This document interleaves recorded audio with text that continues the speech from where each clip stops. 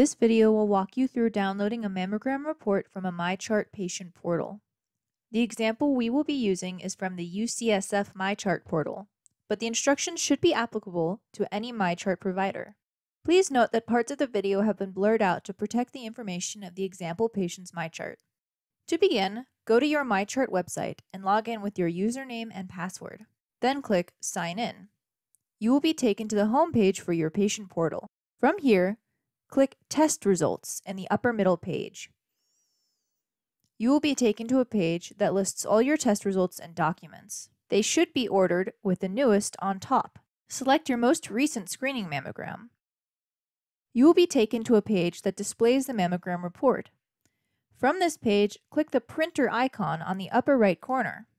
Be careful not to hit the link right below the printer that says About this test. Once you click the printer icon, your computer will open a new window with the mammogram report. If your computer has a pop-up blocker installed, you may be prompted to allow the new window before it appears. In this window, click Print this page. Your computer will then open the printer preview window. From here, make sure the destination of the page is not a printer, but instead to save as a PDF. You will likely have to select Save as a PDF if you have a default printer selected already.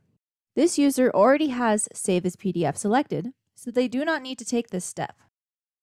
After making sure your destination is Save as PDF, click Save or on some computers, Print. Please note that this example is using an Apple computer. Different computers may have printer preview windows that look different. For example, one for a PC computer may look like this.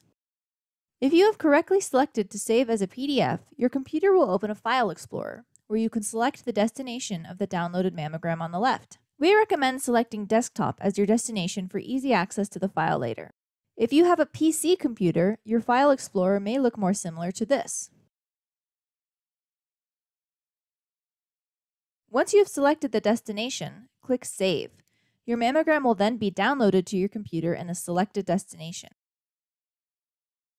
If you have any trouble with any step of this process, email info at wisdomstudy.org or call 855 729 2844.